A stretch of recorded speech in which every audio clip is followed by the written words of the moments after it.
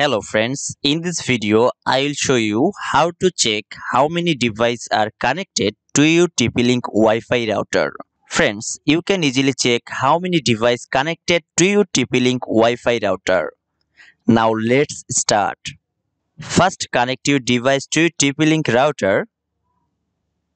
Now open your favorite browser and the browser search box you type tplinkwifi.net and press the enter.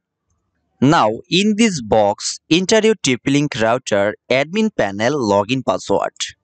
If you see two box username and password on this page then enter default username admin and default password admin if you have not changed it.